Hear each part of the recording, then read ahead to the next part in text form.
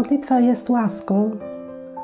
To jest wielki dar Boży, że Bóg Ojciec nasz niebieski pozwala nam spotykać się ze sobą na modlitwie i rozmawiać ze sobą.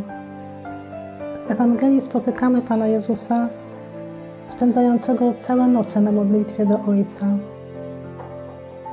W kazaniu na górze czytamy takie słowa: Bądźcie więc wy doskonali, jak doskonały jest Ojciec Wasz Niebieski. Modlitwa to jest takie zaglądanie do serca Ojca i wspólnie z Nim upodabnianie się do Niego.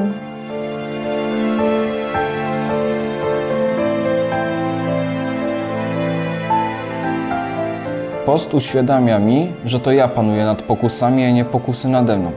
Dlatego w tym okresie warto zrobić sobie pewne postanowienia wielkopostne.